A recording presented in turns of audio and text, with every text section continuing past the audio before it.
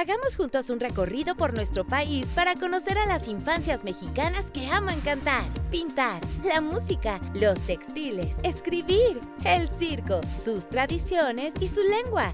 Porque no solo son músicos, son artistas. Me hace sentir parte de algo más grande. Es como si plantaran sonrisas por todas partes y que vean que el arte puede hacer el mundo mejor. Disfruta de los nuevos episodios de Semilleros Creativos, el poder de la cultura. Todos los sábados a las 2.30 de la tarde. No es un grupo, más bien es una familia. Y la verdad es bonito pertenecer a él. Click Clack, asómate.